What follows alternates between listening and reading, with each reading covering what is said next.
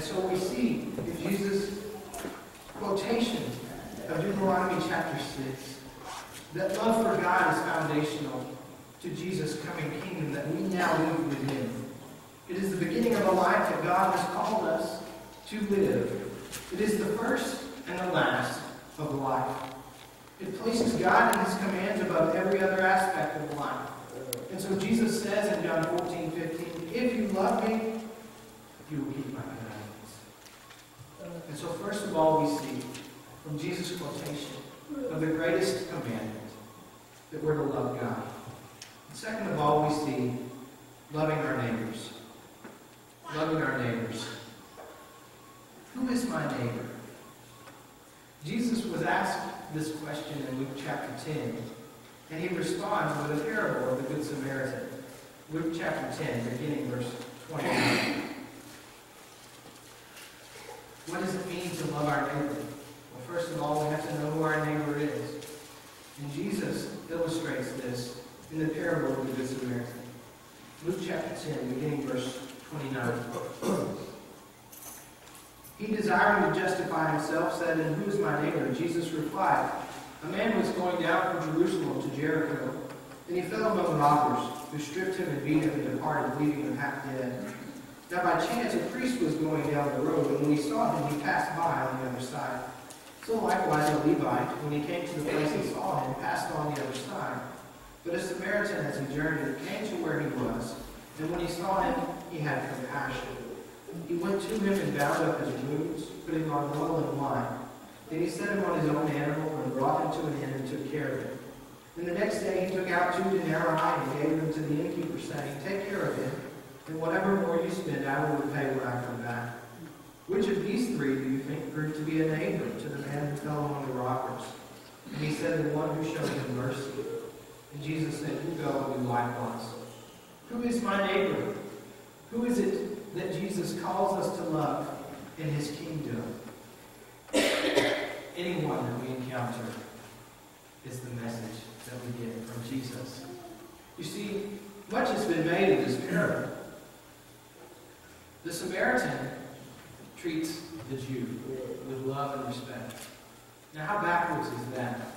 Because we happen to know that the Jews and the Samaritans didn't get along very much, did they? But it wasn't the oppressor who served the oppressed. It was the one who was part of a race that was hated and mistreated, who helped the hater, who helped the hateful. Now, it might be easy for us to think, well, I, I'm in a good position in life and I can help those who are in a lesser position than me.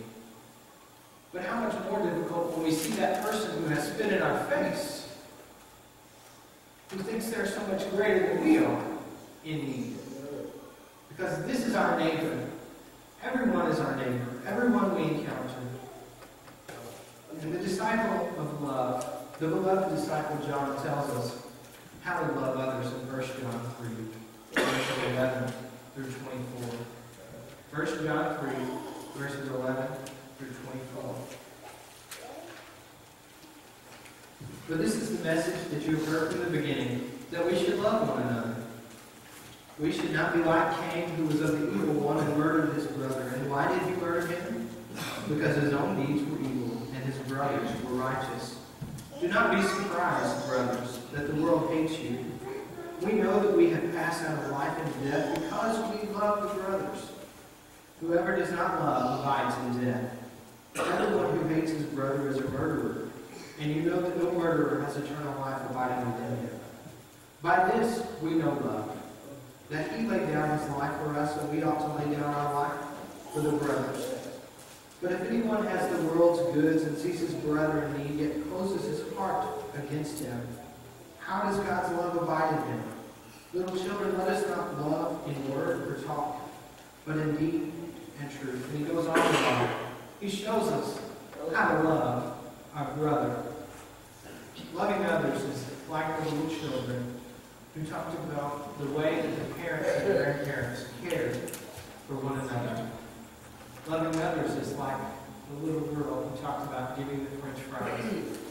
And giving out of our abundance and out of our need is loving others. And this, of course, is most evident, above all, in the way that Jesus loved us on the cross. 1 John 4.10, we read, we'll begin in verse 9, And this is love, the love of God was made manifest among us, that God sent his only Son into the world so that we might live through him, and in this is love. Not that we have loved God, but that he loved us and sent his Son to be the propitiation for our sins. And John goes on to say, Beloved, if God so loved us, we also ought to love one another. This is loving our neighbor. Several years ago, uh, a group, uh, a newgrass, they call it group, by the name of Nickel Creek, uh, sang this song, and it's always stuck with me. It's called the Hand Song. It says, The boy only wanted to give mother something, and all of her roses had bloomed. Looking at him as he came rushing in with them, knowing the roses were doomed, all she could see were some thorns very deep, and the tears that he cried as she tended his wounds. But she knew it was love. It was one she could understand. He was showing his love, and that's how he hurt his hands. Now the boy's grown and moved out on his own when Uncle Sam comes along. A foreign affair, but our young men were there, and luck had his number drawn. It wasn't that long till our hero was gone. He gave to a friend what he learned from the cross. But they knew it was love. It was one they could understand. He was showing his love. And that's how he hurt his hands. Loving others, loving our neighbor means, in the kingdom of God, that we're willing to give for them, no matter the cost to ourselves. What a radical notion that is. How often do we see others giving in such a selfless way in the world around us? Imagine if all of us lived by this principle that Jesus has taught us in Mark chapter 12 to love one another. There would be no war. The Prince of Peace would be bringing true peace as we all follow him in his commandment to love one another. But finally, I'd like for us to look at kingdom love as I've termed it. In Mark chapter 12, verses 32 through 34, the scribe responds to Jesus' quotation of Deuteronomy 6, and he says that God prefers mercy over sacrifice. A quotation from Hosea. And Jesus says to him, because he had answered wisely, You are not far from the kingdom of God. And I'd like for us to discuss for a minute what that means. Everything that we do as Christians, as a part of God's kingdom, must be based on the love that we just talked about in the previous two points. Any other motivation in life to do anything will eventually fail because it falls short of God's requirement.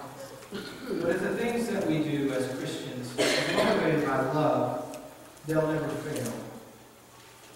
Hosea 6 6 says, For I desire steadfast love, not sacrifice the knowledge of God rather than burnt offerings. And so Jesus says to the scribe, You are not far from the kingdom of God. And what did he mean? And Jesus meant not only that the kingdom was about to be established upon his death, but that this man, because he understood what love was, could find his place in God's kingdom. For if we understand the love of God and the love of neighbor, we'll be led to his kingdom. Remember the rich young ruler from Mark chapter 10? In Mark chapter 10, verse 23, Jesus says this How difficult it will be for those who have wealth to enter the kingdom of God. What he's implying here is that if we trust in physical riches, then we'll fail to enter the kingdom. But if we trust in God and we understand the great command to love Him and to love neighbor, we can be close to the kingdom. But of course, we have to follow the steps of salvation given in the Scripture to enter into that kingdom. Its entrance has already been paid for us on the cross. One, one commentator said about love, logic cannot comprehend love so much the worse for logic. It's illogical that Jesus would die on the cross for us. But that's what's so beautiful about it. because we didn't deserve it, we couldn't earn it, but He did it for us anyway. John says in 1 John 4, verses 7 through 12, this 1 John 4, 7 through 12. Let us love one another, for love is from God. And whoever loves has been born of God and knows God. Anyone who does not love does not know God, because God is love. In this, the love of God was made manifest among us, what we read a few minutes ago, that God sent His only Son into the world that we might live through Him. So, what about us today?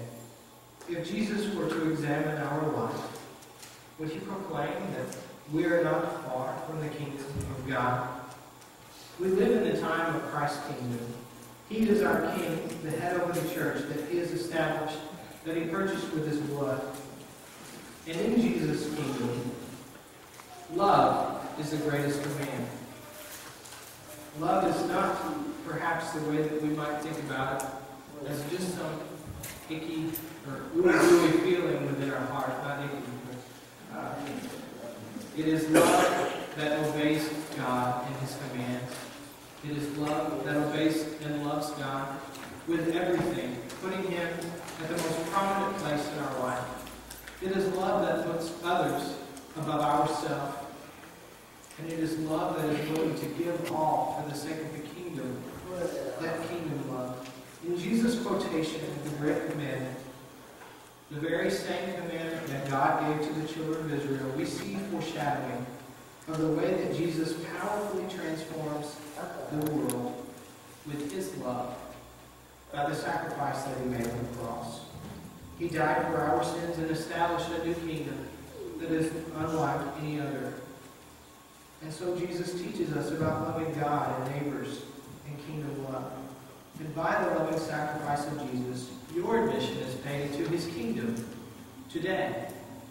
And if you're not yet a part of that kingdom, he invites you to come by simply believing that he is the Son, confessing that he is the Son, and turning from sin, being baptized for the remission of that sin, rising up to walk in newness of life, being added to a kingdom whose greatest rule is love. You can be added to that kingdom today. The invitation is open to you. And if you are a child of God and you find that you're in need of encouragement uh, from your brothers, and need of prayer to sustain your walk, then you are welcome come as well. Whatever your need may be, we encourage you to come. Let us rejoice together in the great love that God has for us as we stand in His